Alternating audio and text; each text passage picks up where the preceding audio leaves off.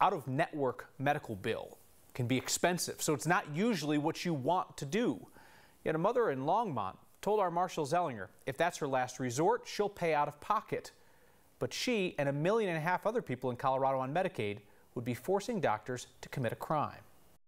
Medicaid is different than Medicare. Medicare is mainly for people older than 65. This story is not about that. It is about Medicaid, coverage for people with low incomes and also people with certain disabilities. I'm the mother of uh, an adult child with disabilities. Mary Kieran contacted us seeking a solution to an issue impacting 1.6 million people in Colorado on Medicaid, not being able to pay out of pocket for her daughter to see a doctor who does not accept Medicaid. Oh, we can't even make an appointment for you. That's insurance fraud.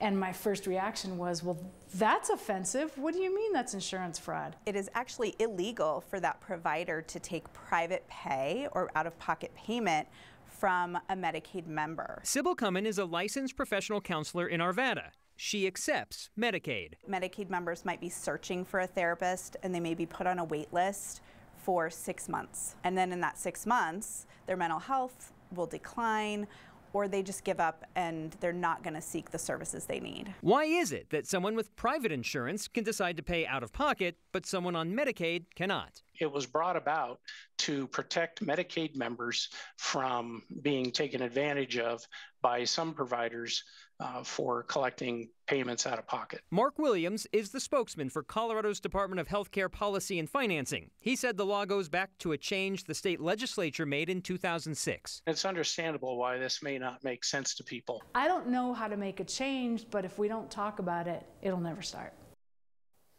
There are two takes here. One, get state lawmakers to look at this restriction. Two, have more Medicaid providers. We've done stories in the last few months about difficulties Medicaid providers have faced nearly having to pay back money for services they provided, or lots of paperwork and admin work to provide Medicaid services.